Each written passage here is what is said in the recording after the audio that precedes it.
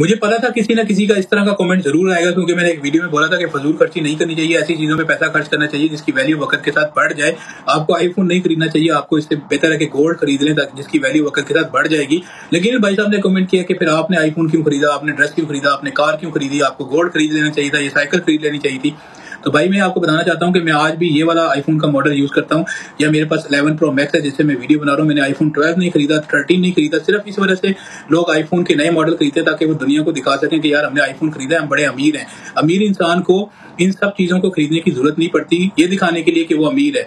Middle class लोग जो है ना, यकीन करें, वो एक्सपेंसिव चीज़ें खरीदते हैं अपने आप को अमीर दिखाने के लिए। और फिर बाद में उन्हीं लोगों को जस्टिफिकेशन देनी पड़ती है कि यार ये नहीं फेक नहीं है, यार ये ओरिजिनल मैंने ब्रांड पहना हुआ है। लेकिन अमीर आदमी कुछ भी पहन ले इवन वो कॉपी भी पहन ले तो उससे दुनिया ये नहीं पूछेगी कि यार ये तुमने डुप्लीकेट पहना हुआ है या कॉपी पहनी हुई है। तो अपनी मेंटेलिटी को चेंज करें, ऐसी चीज़ों पर पैसा खर्च करें जिसकी वैल्यू वक्त के साथ बढ़ जाए। प्रॉपर्टी में इन्वेस्ट करो गोल्ड में इन्वेस्ट करो। आप अमीर दिखने के लिए फजूल खर्ची मत करें, अमीर बने, क्योंकि अगर आप अमीर होंगे तो अमीर नज़र भी आएँगे।